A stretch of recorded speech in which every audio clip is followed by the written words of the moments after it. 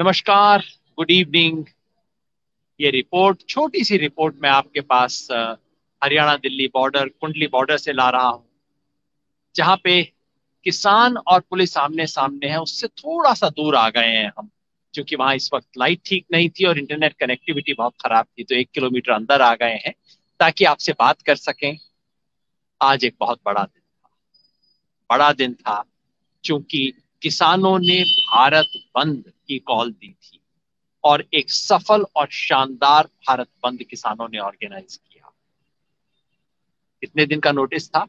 सिर्फ़ चार दिन का।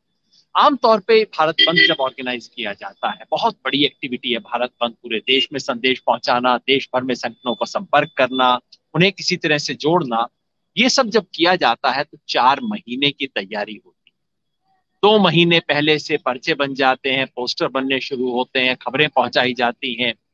और दिन रात मेहनत के बाद उम्मीद करते हैं कि भारत बंद शायद आंशिक रूप से सफल हो लेकिन इस बार सिर्फ़ चार दिन का नोटिस था। चार तारीख को किया गया और आठ तारीख को भारत बंद। क्षमता भी नहीं। ये जो संयुक्त किसान मोर्चा है, इसमें साढ़े चार सौ के करीब किसान संगठन शामिल हैं। लेकिन सच कहूँ तो ये साढ़े चार सौ किसान संगठन भी इस कोई स्थिति में नहीं कि वो अपनी पूरी ऊर्जा लगा दें और देश बंद हो जाए। लेकिन जिस तरह का उसको रिस्पॉन्स आया है, अद्भुत रिस्पॉन्स आया है। पंजाब और हरियाणा की मैं ज़्यादा बात नहीं करूँगा। ज़ाहिर है पंजाब के अंदर तो बंद होना ही था, पंजाब में पूरी तरह बंद रहना था, हुआ, इस पर किसी को आश्चर्य नहीं हुआ।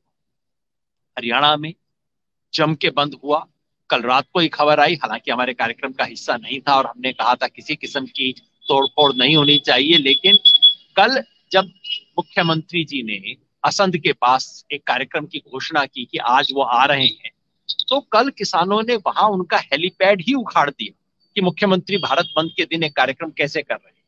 तोड़फोड़ के पक्ष में हम नहीं थे, जैसा मैंने बताया। लेकिन आपको सिर्फ़ सूचना देने के लिए क्या कुछ हो रहा है?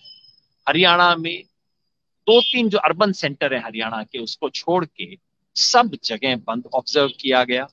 लेकिन आज पंजाब हरियाणा की बात नहीं। आज उसके बाहर क्या कुछ हो रहा था, हमें उसके बारे में जानने की ज़रूरत कर्नाटका, मेरी जानकारी है कि कम से कम सौ ताल्लुक ताल्लुक ब्लॉक, तहसील, वहाँ पे बंद पूरी तरह से ऑब्ज़र्व किया गया। कर्नाटका के जितने भी किसान संगठन हैं, कर्नाटका राज्य रैयत संघ के अलग अलग संगठन सबने मिलके सक्सेसफुल बंद को ऑब्ज़र्व किया। सौ तालुका में पूरी तरह बंद, बाकी सब जगह आंशिक रूप।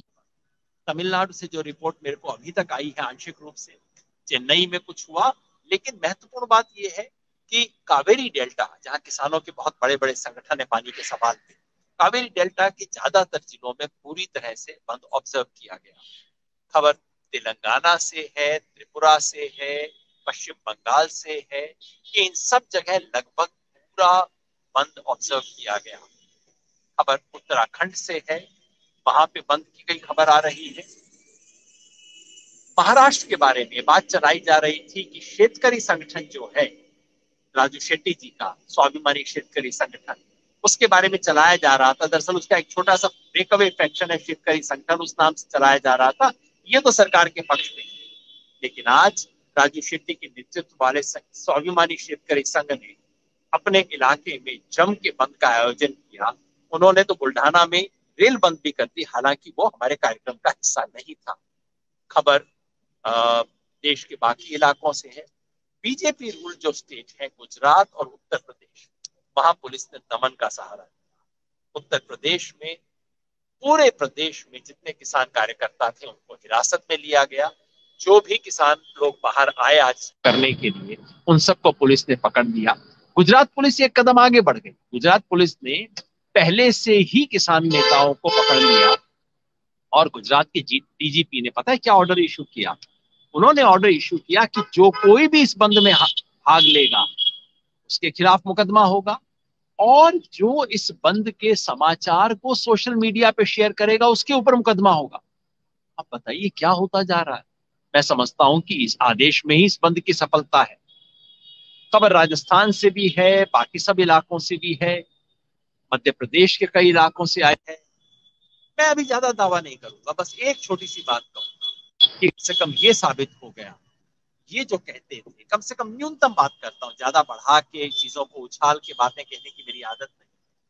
लेकिन जो कहते थे कि ये सिर्फ़ हरियाणा और पंजाब का प्रोटेस्ट है, शायद उनकी आँख खुल गई।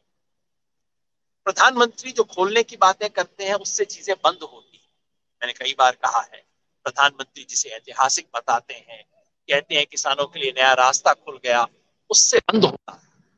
लेकिन किसानों ने जो बंद किया, उससे कुछ खुला है। उम्मीद है उससे सरकार की आँख खुली होगी। उम्मीद है सरकार को पता लगा होगा कि केवल हरियाणा, पंजाब नहीं उम्मीद है सरकार के कान भी खुले होंगे। थोड़ा सरकार को सुना भी होगा कि भाई किसान मांग क्या रहे हैं। कल तक सरकार को यह भी नहीं था कि किसान तीनों कानूनों को खारिज करवाना चाहते हैं, इससे कम पे समझौता नहीं करेंगे। लेकिन सरकार को शायद उम्मीद करते हैं आज के भारत बंद से उनका थोड़ा कान भी खुल गया होगा। और अगर ये दोनों खुल गए हैं तो वार्ता में जो गतिरोध है उसका रास्ता भी खुल गया होगा, क्योंकि वार्ता में गतिरोध क्यों है? गतिरोध सिर्फ़ इसलिए है कि किसान अपनी बात पर अडिग है और सरकार उनकी बात सुनना नहीं चाहती। सरकार घुमा फिरा के बहाने बना रही है, लटकाने के, थकाने के, धमकाने के तरीके अपना रही है, जो अब चलने बंद हो गए। तो उम्मीद है कि सरकार को वो सुन गया होगा। और अगर ये बात सही है तो उम्मीद करनी चाहिए कि कल जो बातचीत का राउंड होगा उसमें सरकार के सुर कुछ बदले हुए होंगे। शाम तक खबर आई कि गृह मंत्री ने किसान नेताओं को बातचीत के लिए बुलाया। अब गृह मंत्री का क्या काम इस सब चीज़ में, पता नहीं। लेकिन आप ये समझ लीजिए कि भारत बंद की सूचना गृह मंत्री तक पहुँच गई होगी, इसलिए किसान नेताओं से बातचीत करना चाह रहे हैं। जो भी है, अब एक वार्ता की ज़रूरत और वार्ता इस देश के प्रधानमंत्री को स्वयं अपने साथ वार्ता करने की ज़रूरत क्या वार्ता प्रधानमंत्री नरेंद्र मोदी को बंद कमरे में शीशे के सामने बैठ के अपने आप से बात करने की ज़रूरत और वो ये नरेंद्र या जो भी वो अपने आप को कहते हो, जिसके नाम से बुलाते हो, अपने आप को कहने की ज़रूरत है बोलने तुम्हारा अहंकार बड़ा है। तुम्हारी नाक बड़ी है। या कि लाखों किसान जो कि दिल्ली के बॉर्डर पे बैठे हैं। तुम्हारा अहम बड़ा है, या करोड़ों किसानों का दुख सुख बड़ा जब मोदी जी अपने आप से वार्ता कर लेंगे, और अगर इनकी वार्ता सफल हो जाती है, क्योंकि जो बड़ा नेता लोग जनता के सामने झुकता है, वो नेता छोटा नहीं होता, वो नेता बड़ा होता है। तो अगर मोदी जी की अपने आप से वार्ता सफल हो जाती है तो बस बाकी सब चीज़ें अपने आप सफल हो जाएँगी। वार्ता ही नहीं आंदोलन सफल हो जाएगा। बाकी चीज़ें तो चुटकियों के अंदर हो जाएँगी, वो कोई बड़ा काम नहीं। आज जो बड़ी बात हुई वो ये कि इस देश ने दिखा दिया कि ये हरियाणा, पंजाब का किसान आंदोलन नहीं, ये पूरे देश का आंदोलन और किसान नहीं, जन आंदोलन आज मजदूर इसके साथ जुड़े, विद्यार्थी, महिलाएँ, लेखक, बुद्धिजीवी पोएट सब लोग जुड़े। सबने इसे जनता का आंदोलन बनाया, क्योंकि हर हिंदुस्तानी के मन में कहीं एक किसान, हर हिंदुस्तानी सोचता है। चाहे कोई बंबई में चार्टेड अकाउंटेंट, उसे भी याद आता है कि मेरे दादाजी कहीं आड़त का काम करते थे, और उससे मैं पढ़ सका, मैं आज यहाँ पे पहुँचा, जो बेंगलोर का आईटी इंजीनियर है, वो भी जानता है कि उसके रूप भी कहीं गाँव में। हर हिंदुस्तानी के मन में जो किसान था वो आज बाहर आया, और जब तक वो किसान ज़िंदा है तब तक ये लड़ाई जीतेंगे। सब लोगों का हौसला बढ़ा हुआ है। समय बीतने के साथ साथ आंदोलन मज़बूत हो रहा है। महाराष्ट्र से मोटरसाइकिल के ऊपर किसान आ रहे हैं।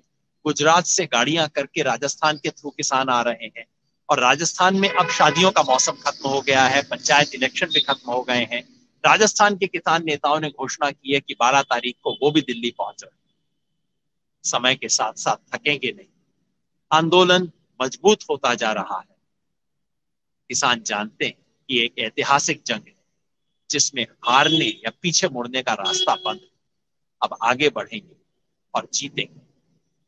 बहुत बहुत शुक्रिया।